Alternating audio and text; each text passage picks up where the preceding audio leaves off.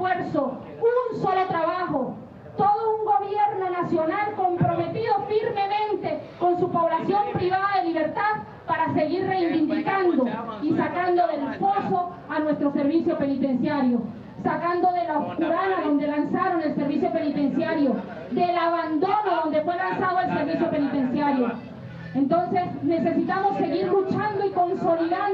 nuestro sistema penitenciario venezolano. Necesitamos seguir fortaleciendo nuestros programas que sí existen dentro de los establecimientos penitenciarios.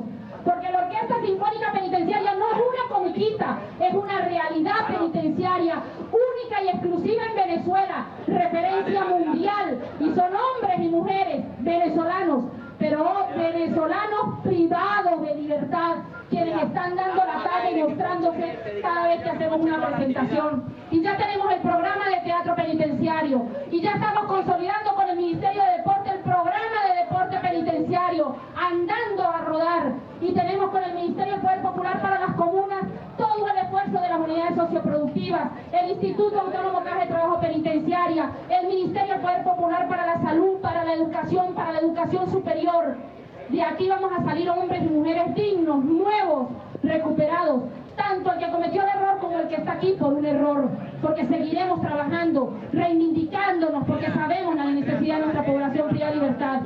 Vaya desde aquí un llamado, un mensaje a todos nuestros privados de libertad a nivel nacional, a mantener nuestro diálogo, a no caer en el chantaje mediático, a erradicar el termómetro de la violencia, de los muertos y de los heridos de nuestros centros penitenciarios, porque eso es lo que quieren, que nos matemos entre nosotros mismos.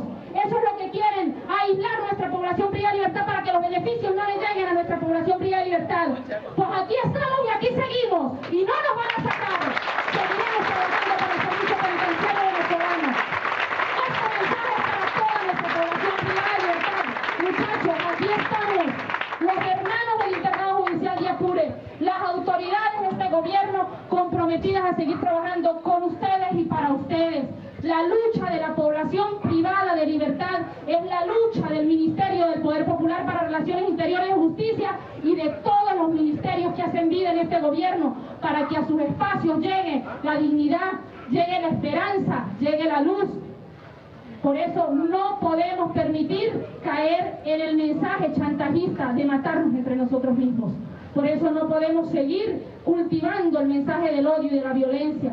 Por eso queremos mandar un mensaje y sabemos que toda la población privada de libertad está ganada a eso. No es solamente el internado judicial de Apure, todos nuestros establecimientos penitenciarios, dentro de ellos mismos está su mayor fortaleza y es la organización de nuestra población privada de libertad y la población privada de libertad sabe que dialogamos con ellos, que los escuchamos, que analizamos sus peticiones y que de acuerdo a sus peticiones avanzaremos en el diálogo constante, en el diálogo permanente, en la transformación del hombre, en la construcción del hombre nuevo y de la mujer nueva.